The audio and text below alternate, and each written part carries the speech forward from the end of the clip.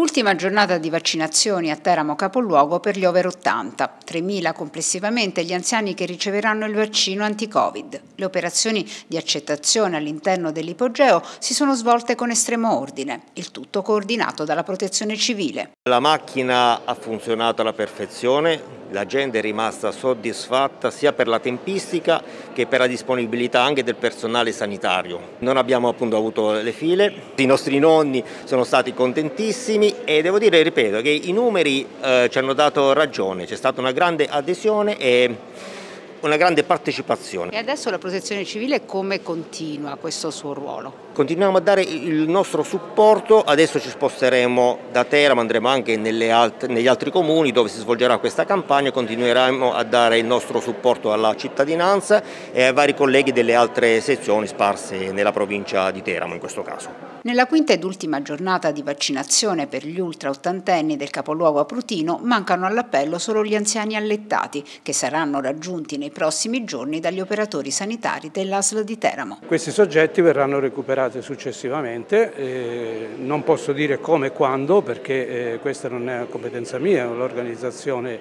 che, un'organizzazione che va fatta anche in funzione delle dosi disponibili di vaccino.